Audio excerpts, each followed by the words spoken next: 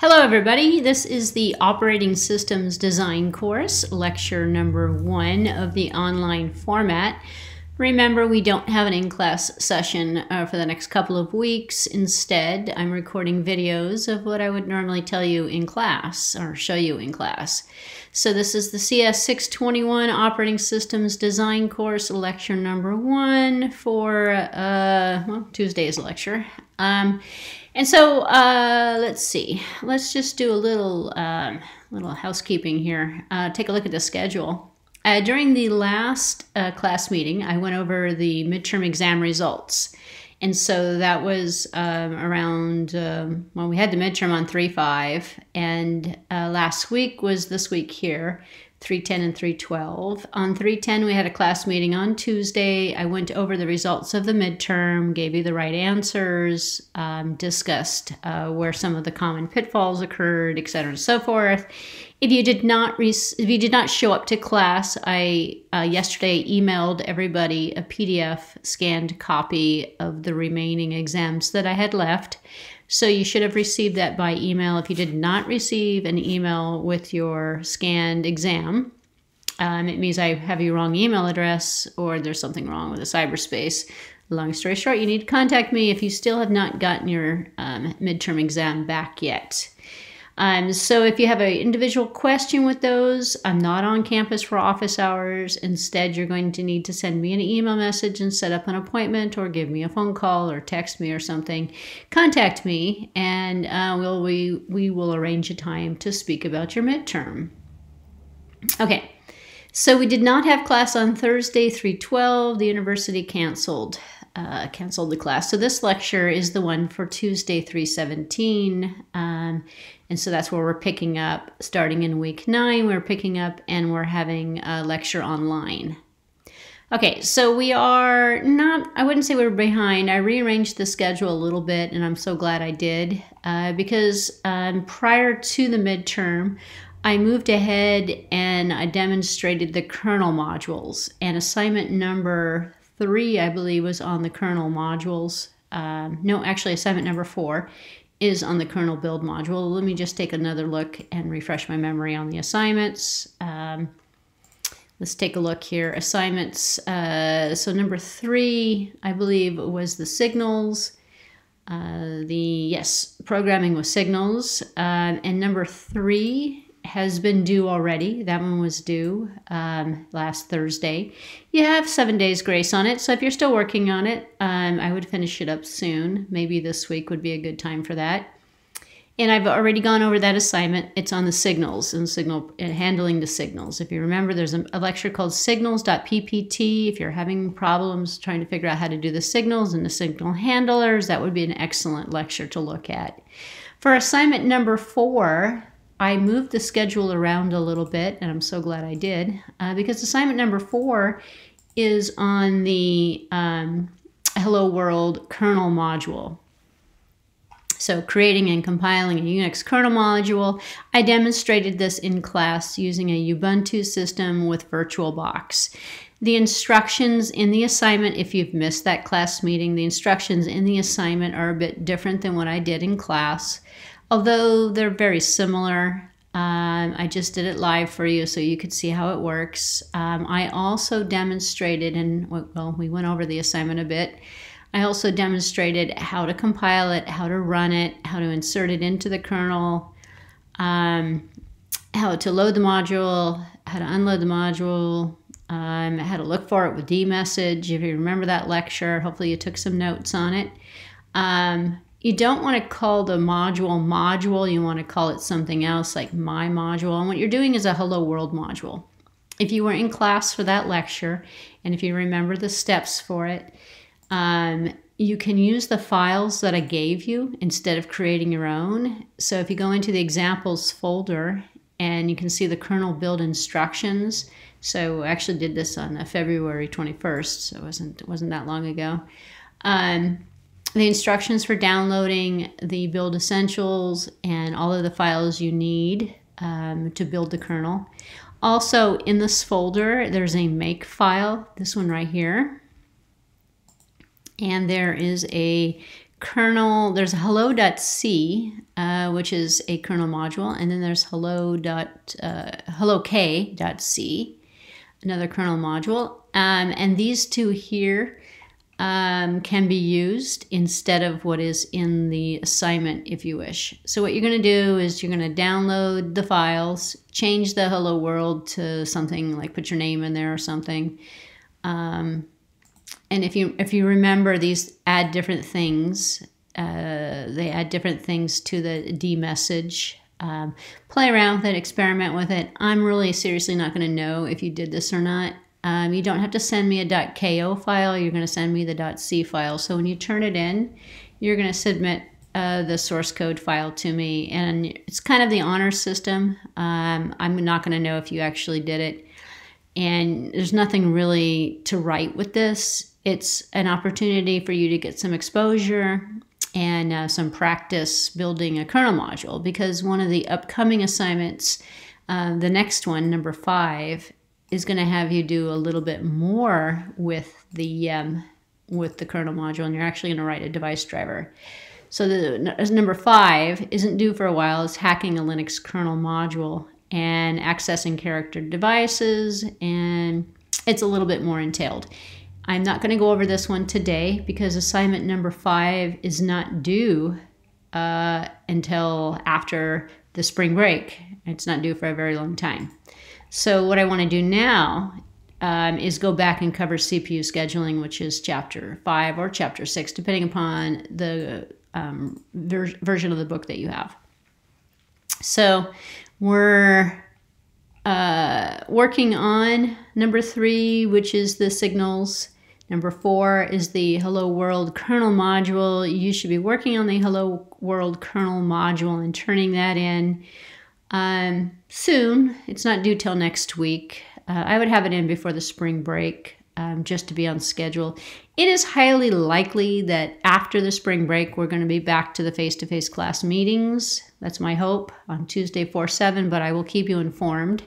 So we only have a couple weeks of this um, online format, I believe, uh, but we'll see. We'll see. Um, I'm not in a hurry to get rid of it. Uh, but it does require me to do a lot of extra work and trying to record and upload to, to YouTube when I would really just rather come to class and show you live. Um, but anyway, um, we're all dealing with this uh, coronavirus situation, so you know it's much safer uh, for you to watch this video at home.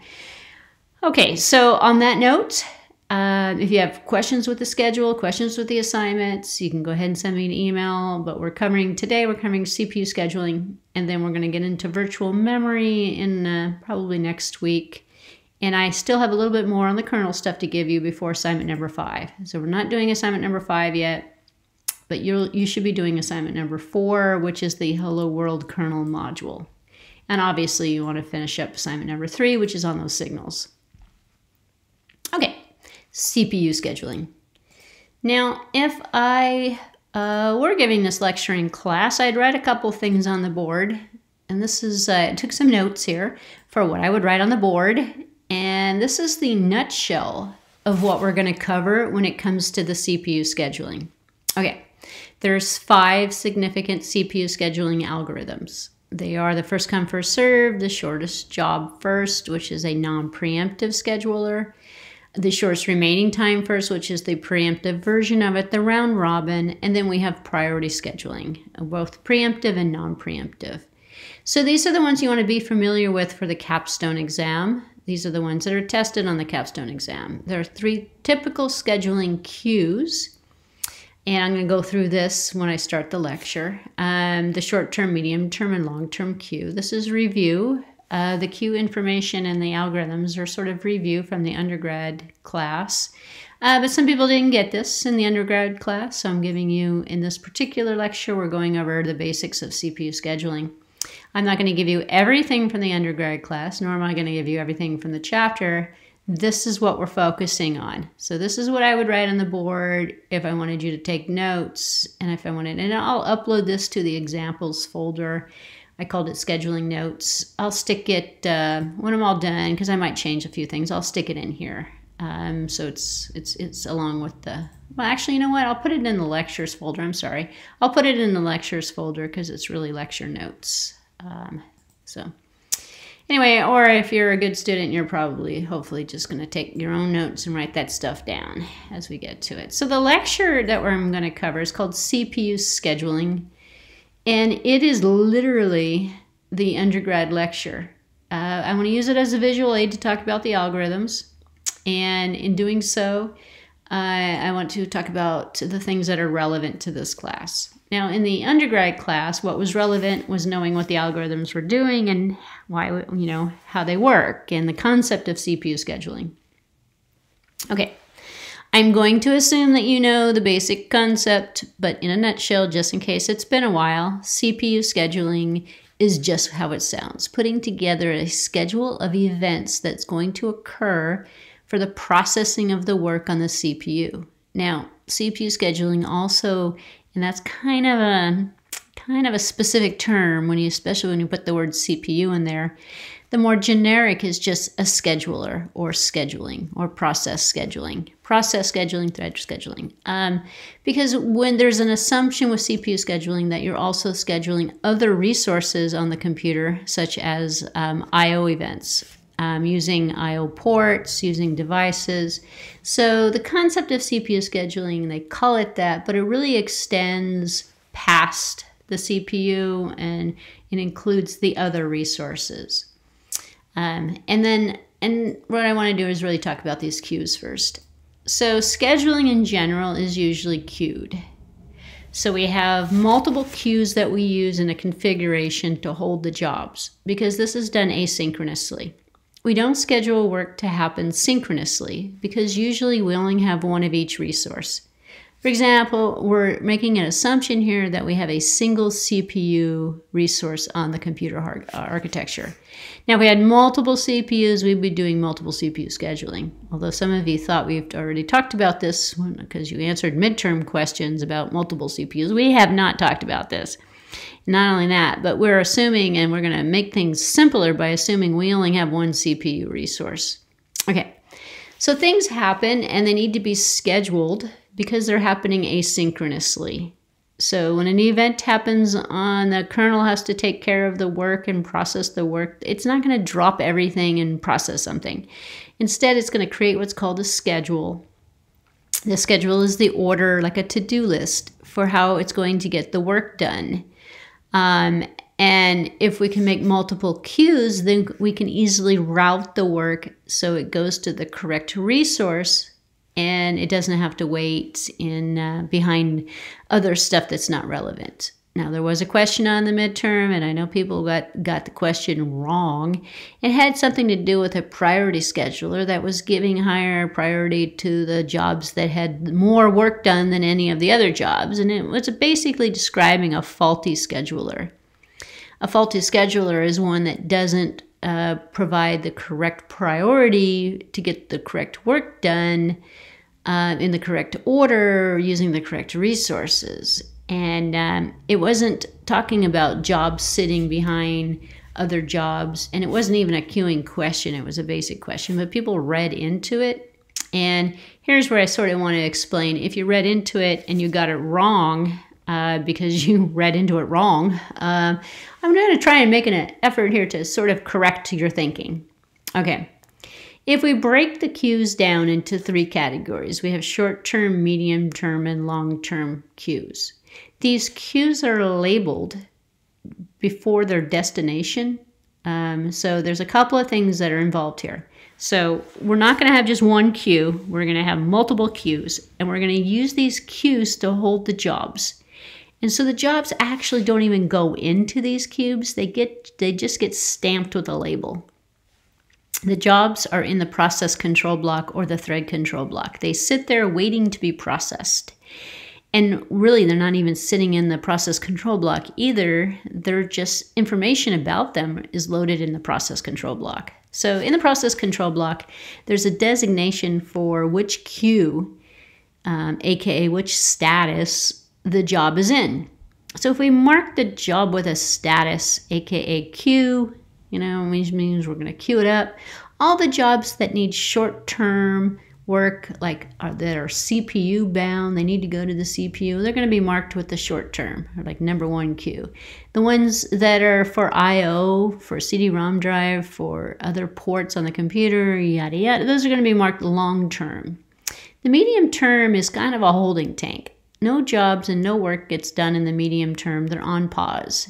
So if a process has been, you know, waited and you know it's like okay you're not going to run you're going to wait um, and we're going to avoid busy waiting well then we'll put it in a medium term scheduler um, so it'll be sitting in the medium term queue um, so all jobs when they come in to the system they're in what's called the ready queue or the job queue actually i'll even edit this here to add ready to it because uh, that's really what uh, the book says the, the book calls it a ready queue i call it a job queue so you double clicked on a file, an entry was made in the process control block. It gets marked ready because that's the process state.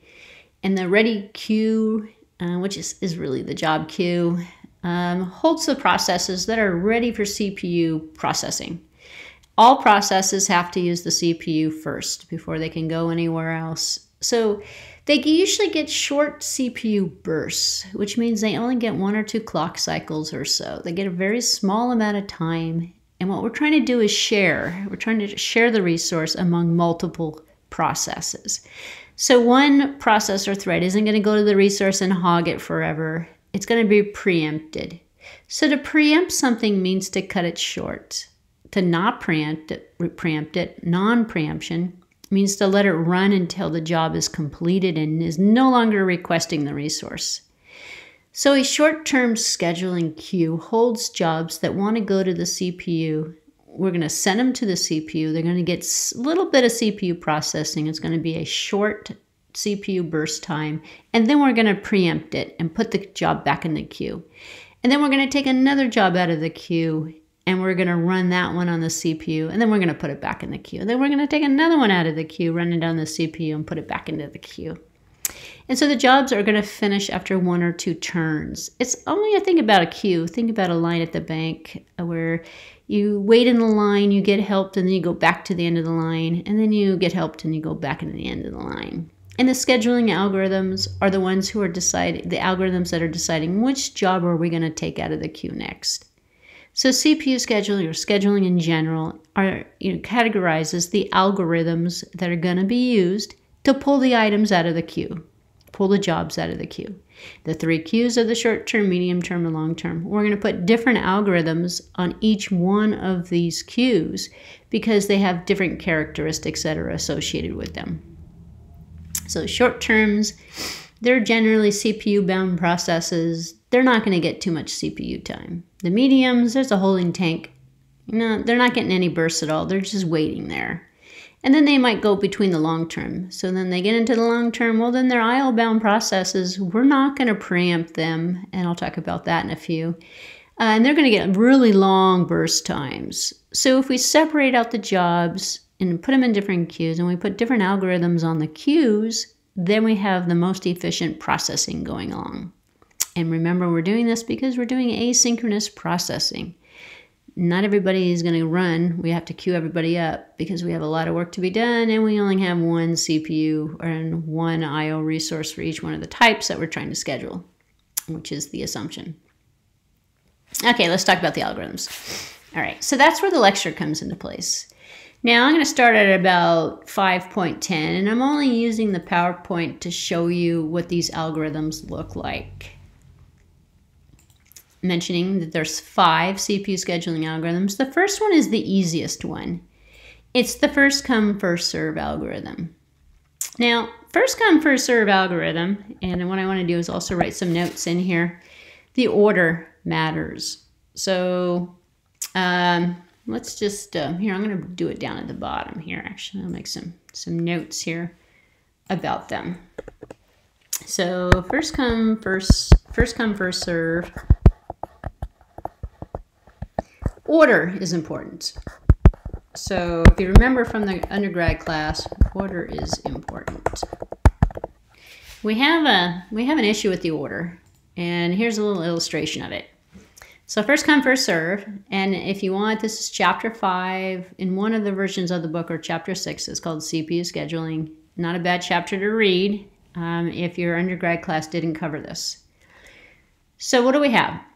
We have an arrival order. This is the arrival order. We have process number one, process number two, and process number three have arrived. Now, in the first come, first serve, we're just taking the order, and it, they came in this order and they require this amount of burst time. This is the amount, and let's just say this is a CPU scheduler. This is the amount of CPU clicks or bursts that are needed for the job to complete.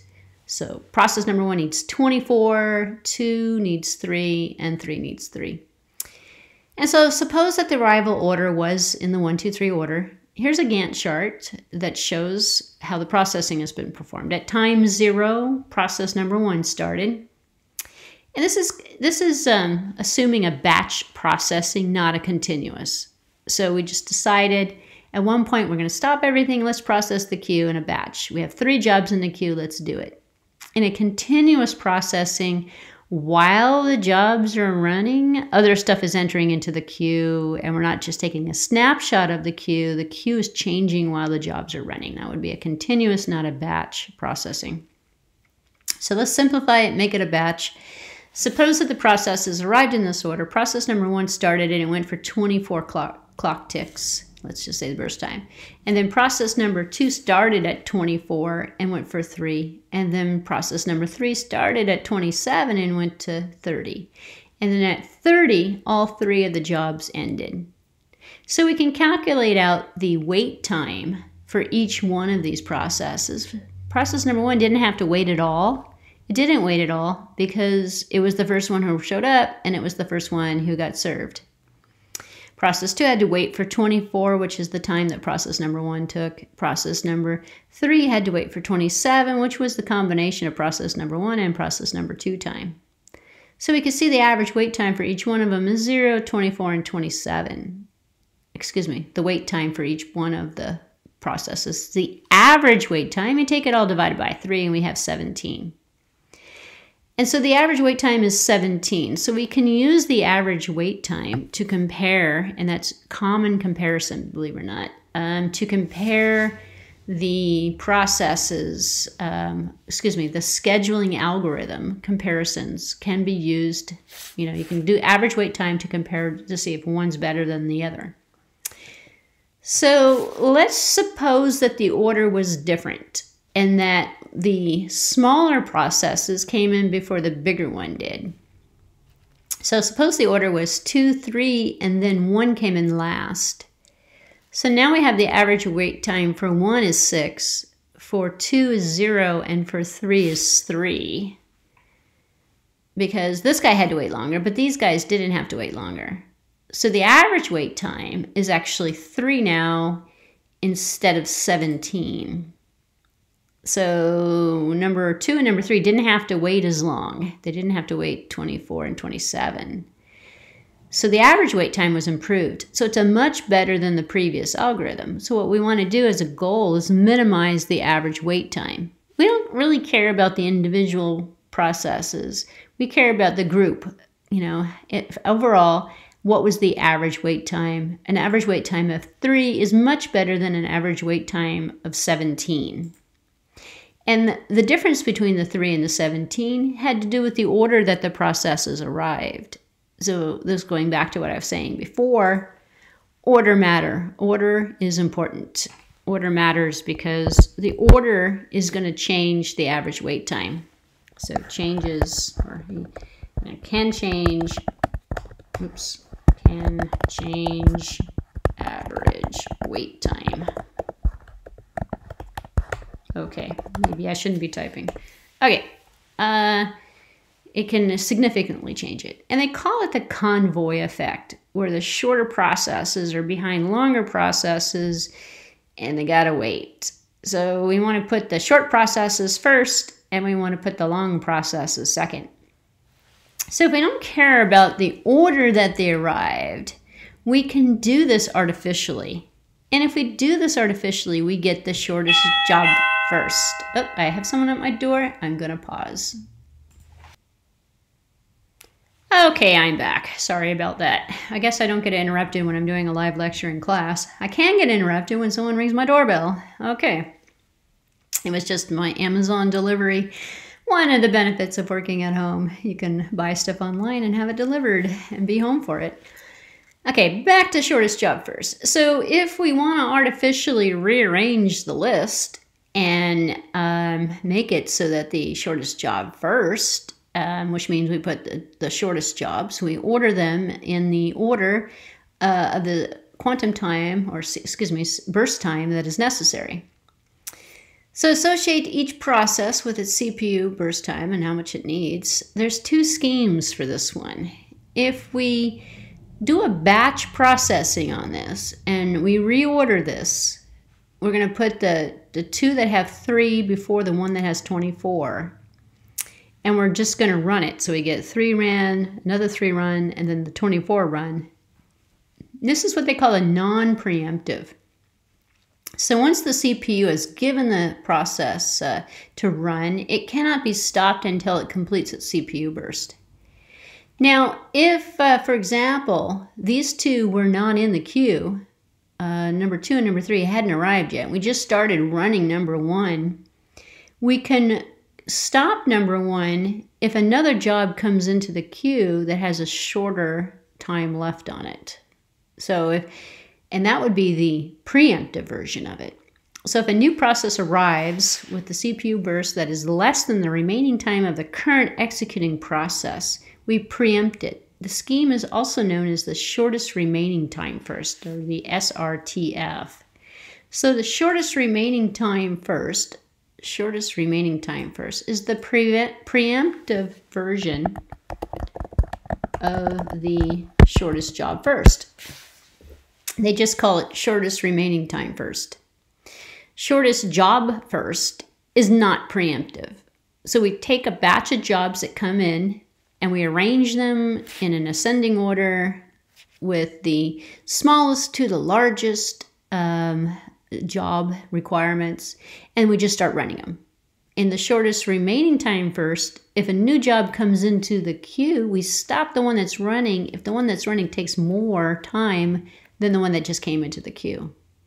And so you can see that this is going to lead to faster processing because we're not going to be stuck processing the one that is taking 24 when a number 3 comes in and it doesn't require as much time. So it's the shortest remaining because there's an assumption that it's already received some CPU cycles and that its time is, is going down um, along with how, how, much time it's been processing. And at one point, it might only be one or two CPU bursts, maybe larger than the one that came through. And the big question, and you know, million dollar question is: Is it worth the sacrifice? Is it worth the sacrifice of stopping it because it only has it has one more burst you know more to do than the one that's there? Because you also have to consider that there's switching time. There's context switching time if you're going to do it. So the shortest job first is optimal. It gives maximum average waiting time for a given set of processes it can be better the shortest remaining time first depending upon how you're averaging and how you're calculating the time that's remaining it might slow things down so there is favoritism towards the non preemptive version of it. The shortest job first is an easier algorithm to implement. There's no calculations that are going to be performed. We just reorder the queue, run it, and then reorder, and then run again.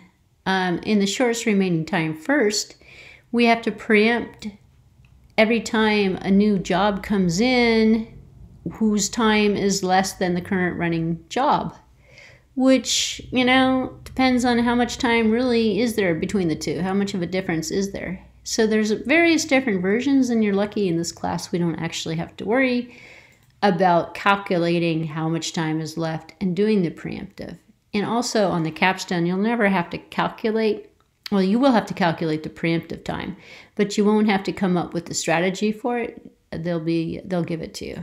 So uh, they'll tell you um, what the priority is. And usually the priority is the time, how much time is left. If another job comes in and the job has um, less time than the current running job, then you're supposed to preempt it.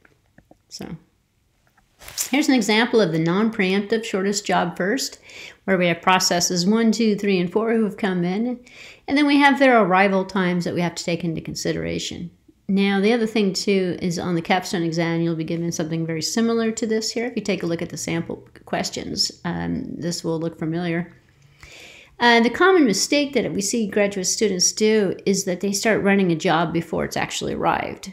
So make sure you're not running jobs, even though they're short, before the arrival time or calculating time they're taking and they haven't even arrived into the queue yet. Uh, so arrival times are important to look at and make sure. So process number one arrived at zero, and then process number two arrived at one, which means nothing was happening between zero, excuse me, and two. Nothing was happening between the two, which means process number one should be running. So process number one needs seven burst time. It happens to be the largest process that came in first. And then we have another four, we have a one, and we have a four. So the non preemptive model, number one, is going to run first because it's non preemptive. And it arrived first. So it's going to run to the seventh. It's not going to get interrupted. And then uh, the next one is going to be number three because it only requires one CPU burst. So it's going to go to eight. And so it had to wait actually, but it arrived at four. And it uh, at the time of four, it only had to wait for three to get to seven. So it didn't really wait that long. So if we look at the average wait time, and this is the other thing you need to pay attention to because you'll have to calculate average wait time. And if you're doing it for a non-preemptive shortest job first, you must consider the arrival time because they haven't been waiting if they haven't arrived into the queue. For example, these are the average wait times. These are the wait times, excuse me, for each one of these processes. Number one didn't have to wait, it's zero. It arrived at zero, it started at zero. Number two arrived at two. It waited for six because it didn't have to wait for the entire seven. It only arrived at two, so it waited for six. So it started. It could have started at two. And actually, is that right? Uh, let's see. Um, at the time that the process one was running, at the time that two occurred, it would be five. Uh, arrived at two, uh, but it didn't. Oh no, it didn't run until after this one ran. So it, it was three. Okay, so it had to wait for process number. Well, actually, if you draw it out on a Gantt chart, you can actually kind of see process number two. Uh, so you take the time that it was running and you minus the time that it was waiting. Uh, so let's see, process number three had to wait three. So process number three arrived at four. That one makes sense. Um, seven minus four, three. This one here, I think is slightly off here. We got five plus one. Oh no, it waited for six. Yeah, this one's correct. It arrived at five. There was five left. 7 minus 2 for 5. Plus, it had to wait for this guy to run, which was 1. So it turned up to be 6. It waited for 6. Number 3 didn't arrive till 4. Um, so that, that that's so it has 3 from 7. So 3 because it ran next. So 3. And then number 4 arrived at 5. Um, and then subtract out what was running before it and you get seven actually for that one. So five, what do we have at five? This guy was still running, so we had two left for here. Then we had three, and then we had four for seven. So if you run through the logic, and I highly recommend doing this because you'll need to calculate this. This is the average wait time for the non-preemptive shortest job first. And so we come up with four. So if we compare compare that with the preemptive we could have an effect where it actually takes more time if we start considering the context switching. So here's an example, and this is the same numbers as before. So let's compare the non-preemptive shortest job first with the preemptive shortest job for first, which is the shortest remaining time first. So this is the shortest remaining time first, even though the slide says it's preemptive. Well, it is the preemptive shortest job first, which is shortest remaining time first. we see we save, if we just look at the calculations, we save one, we go down. So we had four was the average wait time. Now the average wait time is three because we preempted the first job. So the first job came in and it gets allowed to run till two because the second job didn't arrive till two. So which we means we have five left. So eventually at the end, we're going to run the five for, for the, for the um, process number one. Process number two comes in and it runs for four.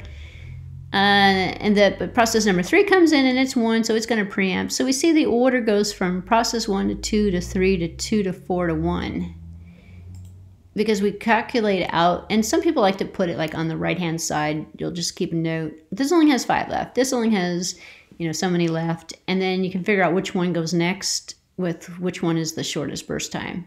So shortest remaining time left goes next. And so the order, and you'll write it out like this on the capstone, and you'll calculate it out like this. And you're calculating the average wait time the same way we just did a few minutes ago on this one. Uh, but you do need to keep track of how much remaining time is left. And that's where I recommend writing just cross this out and put five here, cross this one out. And, you know, you can keep a live total of what you have remaining left. Because what you don't want to do is screw up how much time you have remaining and then you've got the whole calculation done incorrectly. Uh, and you will have to write this. You will have to calculate this. And the final exam for this course is will also for this course will also give you some uh, practice calculating this as well. So we'll give some practice problems. So that is the preemptive version of the shortest job first. I call it the shortest remaining time first. I'm giving it, but it's really uh, shortest remaining. It was the preemptive version of shortest job first. Okay. Round robin. Round robin. Uh, I don't know if this one comes next. Let's see if it does. We're not going to do the averaging. Let's go to round robin. I did mine in a slightly different order than uh, than uh, the slide set does it. Um, I'm only using the slide set to illustrate the algorithms, by the way. You don't have to know everything in that chapter. It's the undergrad chapter. So, round robin. Round robin. What is round robin good at? round robin is good at one particular thing that is very, very important. It's very responsive. So this is very, very responsive. All processes will get an opportunity to run regardless. So one of the things we haven't talked about yet is uh, some of the side effects of what happens. So in the first come, first serve, it's fairly, it's fair, you know, to the most part. Uh, the order matters. The big job comes in, the average wait time, you know, might suffer from the convoy effect. And the shortest job first is giving priority to the shorter jobs, and they're going to run first before the longer jobs run. And if we really want to tweak it, we can make it into a better form and do the shortest remaining time first and preempt those long jobs if uh, a short job comes in that's really small. Um, we should let that one run. Um, but some jobs are going to have to wait longer than other jobs, and the waiting time is not equal between all of the jobs. Some of the jobs are going to wait longer than some of the other jobs because priority has really been given to the jobs that have the shortest amount of time requirement. In the round robin, there is no there's no such thing as how much how much time the jobs need. Instead, what we're looking at then is giving everybody a little bit of time and just going around in a circle. So process number one gets two clock ticks, or they, they call them quantums actually, time quantums. You get a small amount of CPU time. It's generally uh, between 10 and 100 milliseconds. You get a little, you know, a couple of clock ticks. Now, the quantum time can be adjusted with the size of the queue and the average time it takes for each one of the jobs. So if each one of the job requires 10 CPU cycles, and we start with a quantum one, and we give everybody one, and we go back and we give everybody two, and we go back and give everybody three, it's going to take a long time. But if we give everybody five, then it's only going to take two cycles. So the quantum needs to be adjusted and uh, with a what they call a moving average with how what's the average time needed so that all jobs can get the fewest number of cycles necessary to complete in the shortest amount of time. So with that, you don't want to make the quantum too big because if you make the quantum too big, then you got to first come, first serve. So what you're trying to do is get all the jobs get a little bit of attention. So jobs that are good for round robin scheduling, uh, round robin is very responsive and it's basically very good for user interface design. Um, so UI controls, UI, uh, user interface, um, graphics, um, something where you want it all to finish and you want it to, to, you want the illusion that everything is loading at the same time and everything's running simultaneously. So for UI effects, for responsiveness, so uh, we know that something is running and it gives the user the illusion that everything is running and it's running quick. So UI responsiveness, when I click on something, I want it to, I want it to, show that I've clicked on it. Round Robin is good for that. So the performance, if the queue is large, is very similar to first come, first serve. If the queue is small, then the, um, the quantum must be large with respect to the context switching, otherwise the overhead is too high. You have lots more context switching, which I probably should add to this here. Uh, let's go, let's go here. Lots of context switching. So we don't want to have too much context switching because if we do, then if you add up, then we're not really calculating context switching in any of these algorithms, but if we do take that in, into consideration, then we're going to add up a lot of extra context switches because we're constantly switching between the different um, running jobs and we're not letting anything finish. We're just giving like two quantums to everything or three or something.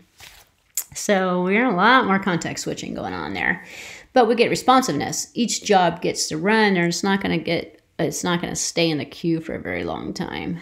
Um, so the jobs themselves will all get attention instantly. It's like someone coming to a line at the bank. You have a huge queue of 20 people at the bank, and someone comes up to the line and says, What do you need? What do you need? What do you need? It goes through each one of the people and gives them a little bit of time. Oh, I need to do a deposit. Oh, I'm trying to do a withdrawal. Oh, I'm trying to do something else. Um, so when you're doing that, everyone is getting some attention. And so you don't feel like, oh, wow, I haven't talked to anybody yet and I've been here for 20 minutes. I'm standing in a queue. So it's responsiveness is the important part with that one. So here's an example of the round robin with a time quantum of 20. And uh, the burst times that are required are 53, 17, 68, and 24. You can see that there's a variance, there's a huge variance between the amount of burst time that's needed for each one of these. So this algorithm is also better suited for jobs of similar similar burst times. Um, it gets better performance with similar burst times. So. So typically a higher uh, average turnaround time than the shortest job first, but better responsive, better response of the system, and a lot more context switching going on. You see a lot more switching, and a context switch is where you're going to switch from one process to another. So we got lots of context switching going on with this one. And so here's the time quantum and the context switch time in comparison. If we set the quantum to 12, and the process time needed 10, there's no context switching. If we set the quantum to 6, then there's one switch. If we set it to 1, then there's 9 switches. So there's a fine line with how many context switches you really want to implement because that's going to waste your time. A context switch, when that occurs, nothing else is happening. The CPU, the, everything is, is spending time context switching and not getting any real work done. So it's not the most optimal thing. Um, and here's a turnaround time that varies with the time the quantums, uh, the quantum time as well. Depending upon how large you've made the quantum, the average turnaround time could be compared with the first come, first serve, um, which is kind of typical. Okay. This lecture kind of goes through the multi-level feedback. You don't have to know that for this class. That's the undergrad class. Real-time scheduling, thread scheduling, a bunch of uh, thread uh, related concepts, you don't have to know that either. There's one algorithm that's missing. It is, uh, eh, let's see, it's, it's close to the optimal here. Uh, and the optimal is not in here either. Okay, so this lecture is missing, and I have to explain this to you. Um, there's two algorithms that are sort of missing. What's called the priority. Um, there's another one called the optimal algorithm. And uh, I'm going to pull out another sheet for you that's going to go through the optimal and the priority. So I am going to pause this video momentarily one more time um, and then uh, show you something interesting. Okay, I'm back, and I'm glad I paused it because I couldn't find what I was looking for, and it took me a few minutes. Um, so I didn't waste your time. So um, in the, uh, and I just put this in the folder because it wasn't there. So uh, refresh your folder if you were there a few minutes ago. But if you go into the 621 class from my website, CS621, go into lecture notes, refresh, refresh the folder uh, because I just loaded it in here. There's a new folder here called sample exam questions, sample exam questions. Click on sample exam questions and you have the, I put everything in here. We have some stuff for page replacement that's going to be needed for you. Uh, these are capstone uh, questions that have to do with CPU scheduling and page replacement algorithms. Uh, but right now we were going to look at this one here. It says CPU scheduling algorithms. So if you click on the CPU scheduling algorithms, this one actually has the five algorithms in it. Um, and so I can use this. So we remember we, we talked about a few minutes ago, the first come, first serve scheduling algorithm. And in here we have, uh, this is the same as lecture 24, 3, and 3. And it shows you how to do the, how to calculate it the average wait time. And then the second Gantt chart here, if you rearrange the jobs, shows you the uh, shortest uh, first come first serve with the convoy effect. And then we have the shortest job first scheduling algorithm. This is what we just went through a minute ago. And these are better notes for you for review. Although the uh, averaging is done slightly differently than it is in the other lecture, uh, the numbers are the same. It's just that the approach is different, slightly different than what I uh, just showed you. And then we come down a little bit further. We have the priority scheduler. This is what's missing from the undergrad textbook is the priority scheduling. All right, so let's talk about priority scheduling. Priority scheduling is just like the shortest job first, but instead of using the job time, you're going to use an artificial priority time. So again, priority scheduling is just like shortest job first or shortest remaining time first, but it's the priority which is an artificial number you're going to stick on the job, not the job time or the shortest remaining time left. So the priority is a more general case of the shortest job first.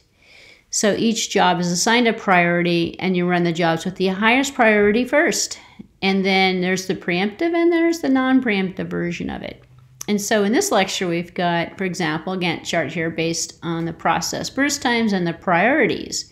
So we have process one, two, three, four, five. The burst times are different. The priorities are different. Now, in a question like this, they're going to tell you the scale. They're going to say that number one is the higher priority than number two, higher than number three, etc. And so you're going to schedule them based on their priorities using the same concept. And so if a higher priority process comes in while a lower priority process is running, you're going to preempt it, um, essentially. Uh, if you're doing a preemptive version of it. If you're not, you're just going to let the higher priority process wait for the one that's currently running to stop, and then you're going to rearrange the queues so that the next highest priority is running next. So in here, and I thought it was in here, maybe it's at the bottom, uh, the optimal is explained. Um, no, I don't see the optimal in here either. I'm going to have to find you more information on the optical. This is a two-part lecture anyway. Uh, so optimal is actually not even part of my list here. And it's really the optimal. So the opt. Okay, so let me tell you about the optimal. You can't implement it You know, Optimal says, okay, here, here's how Optimal works. If I were to look into a crystal ball and if I were to predict in the future which which job is going to come in and which how we're going to do it and uh, so optimal actually plays a part with memory management as well and there's an optimal algorithm for memory management that is it gives you a benchmark but the optimal scheduling for CPU scheduling, nobody implements it. It's not testable on the capstone, and nobody's even going to talk about it because it It's a predictive scheduler, and it's the same concept as the memory management optimal page replacement algorithm. It says if we were looking at a crystal ball and we're going to predict the future, and we, we had a system that we could totally predict, this is how we would schedule it. Okay, how are you going to do that? Are you going to tell the user you have to click on this program before that program and you have to run it this way and that way? So if you're running with a modern day CPU scheduler for modern interactive and for an interactive um, environment where the user can run anything they want, anytime that they want. There's no such thing as optimal. Optimal can't be used. Priority can be used, and priority gives you in both the preemptive and the non preemptive variety. Optimal is not going to work, and not for memory management and not for CPU scheduling. Um, they do test optimal for memory management because it can be used for benchmarking with memory management. It can't be used for anything in the CPU scheduler. Now you could run optimal, for example, for a CPU scheduling algorithm, it's predictive scheduling. You could run it if it were a microwave oven and you knew that the user is going to have to enter in the numbers before they press the power to start to stop. Yeah, yeah. And then are, do you really need to schedule it at that point? No. So there's no need for a scheduling algorithm if you're already going to determine the order that everything's going to run in. So let's just forget about optimal. And then when we get to the memory management section, I'll talk about the optimal memory management algorithm. That one is not implementable again for different reasons. But the other thing too is that, you know, um, it's a nice benchmark. So we don't really have a benchmark that we can use it for with CPU scheduling. So in here, you'll see run through. Uh, I know I've been probably get, making guys dizzy going up and down with this. Um, you'll see the run through on the first come first serve explanation. Go ahead and read through this at a slower pace. The shortest job first, the shortest remaining time first, the priority scheduler. The priority schedule scheduler is just the same as the um, as the shortest remaining time or the shortest job it's just using an artificial priority number instead of the time that the job takes. And there's a preemptive and there's also a non preemptive. It goes by the same name. Okay, a few notes on round robin. Round robin is also explained in here. Its scheduling is very similar first come first serve, except the CPU bursts are assigned. Um, they're not the, the ones the process needs. They're everyone's given the same amount and creates better responsiveness and uh, the jobs can can finish uh, usually. And when you look at the Gantt chart for a for a round robin, they all get the same number of bursts. Now, the mistake people make with the round robin is, let's say the that P1 and P2 and 3 P. Let's say these three are being scheduled, and you make the quantum uh, one, or actually, we'll make it two. So 24 minus 2, this guy's going to have 22 left. This guy is going to have one. This guy's going to have one left after the first cycle. And so the second cycle it comes through, it's still two, but there's only one left here. So you preempt it. You, it, it doesn't. The CPU doesn't sit there and go two, even though it only needs one. So the one exception to the round robin is although you're giving everybody equal time and everyone's getting the same amount of time, if the process doesn't need it, then the process isn't going to use it um, it will preempt. And so you don't have to worry about there not being, um, you know, the process not needing all the time it's getting, it's not going to waste time. So if you read through the notes, you'll get a better explanation. Um, you know, this is the same thing actually out of the lecture that uh, I just showed you. So also in here, if you look at the uh, PDF files here, you'll see uh, this is uh, memory management. You'll see, oh, this looks like the memory management part. This is going to be for memory management. Uh, let's see, let's look at this one here. Producer consumer. Uh, no, no, no. Okay, let's see. I know one of these is going to have, ah, here it is. This is what I was looking for. Uh, nope. Mm. No, no. Banker's algorithm. No. Ah, here we go. This is what I wanted. Number two. So I just clicked on uh, the 2018 fall capstone systems exam. Question number two says consider two CPU, and I want to give you a sample of what these questions look like. Consider two CPU scheduling algorithms for a single CPU. They will always be for a single CPU. Preemptive shortest job first, also known as shortest remaining time first, and the round robin. And assume that no time is lost during context switching. Very unrealistic, but how are you going to measure it? It's impossible to measure it, so you don't have to measure it. Given the four processes with the arrival times and the expected CPU time listed below, draw a Gantt chart to show when each process executes using number A, the round robin. They're going to give you a time quantum. You never have to calculate it. So time quantum 4. And if you look in the book there, you'll see that there's ways of doing an averaging of the quantum and there's calculations that you could perform on the quantum to, to create the optimal quantum time uh, don't worry about it. That's a waste of your time. Uh, they'll always give you the quantum for the round robin. And then uh, the preemptive shortest uh, job first. Uh, for part B, only calculate the average turnaround time. So you have to do the average turnaround time for part B. And so in here, you'll draw out the Gantt. And when it says draw out the Gantt charts, that's what this is here. These are Gantt charts.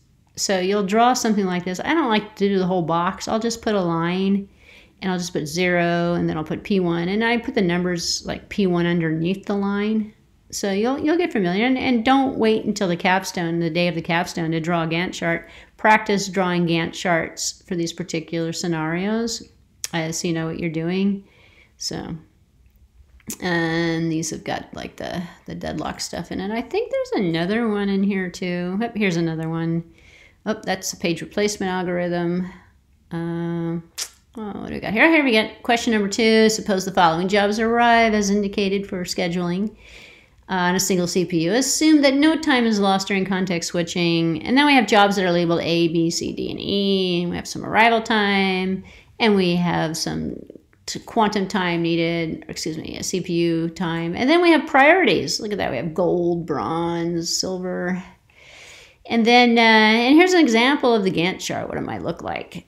You're going to draw a Gantt chart and showing the, uh, the scheduling of these jobs. And then you're going to be asked a couple questions about it. And uh, one of them you might be asked is, uh, you know, for nine points, do the round robin quantum four and assume that all jobs have already arrived. Okay, so you don't have to do any preemption on that if they've already arrived. And then uh, maybe uh, here you got a preemptive priority scheduler. And then what is the average wait time the preemptive priority scheduler? So what you're looking at then is average wait time. If I were a smart student, I'd know how to do average wait time. Uh, so practice doing average wait time as well. Um, this is the priority, this is the round robin. And as I mentioned before, the five algorithms you really got to pay attention to are these guys here. There's the only ones they test you on. Uh, in fact, those are the most popular ones, actually. Uh, so let's see. Uh, what have I left out? Um, I think this is pretty good for the introduction. Um, I think what we might do, uh, I might have another follow up lecture to this. I haven't decided what I want to do for Thursday's class um, yet, uh, but we might. Uh, I, I, might run through some more examples with you. Um, I'd like some feedback if you have feedback. Given uh, the style, given the way this is being recorded and how this is working, if you have some suggestions, comments, concerns, or anything, uh, you can send me an email message and say, hey, I like the format. Hey, I don't like the format. Can you talk a little louder? Can you stop taking breaks and pausing it? Um, I don't know. Can you give us a little bit more practice with this? Can you do this? Can you do that? Um, I'm totally open to feedback. And uh, again, this will get better, I think. I'm not used, I've been totally out of the recording business for a while. Um, it'll get much easier and I'll ramble less as we move forward and I start doing this more often. And so hopefully the sound quality is good enough for you. And um, I will take and post this um, as soon as I stop the video. I will post this to the uh, same folder. I will put it in the uh, sample exams folder. So you'll have this little cheat sheet that has the uh, scheduling notes with the five algorithms. They never ask you about the queues. I put this stuff in here for the queues just to uh, just to help you a little bit. In fact, this here, you know, just take this. I'll clean this up a little bit. I probably could just do this on my own time. Uh, all right, so next time I'll have another video for you for Thursday, and uh, what I'm going to do then is move on to another topic. So um, if you do have a suggestion, you, you want to, because you can't raise your hand right now and, and, and say something, so email is the, the way you're going to say it. Um, so email me, let me know what uh, what you, what you did when you raised your hand or what, what questions you have, and I will address them. I will either address them personally with you or in a you know, follow up video. So I hope you're staying safe and you're staying dry and you're washing your hands and staying healthy.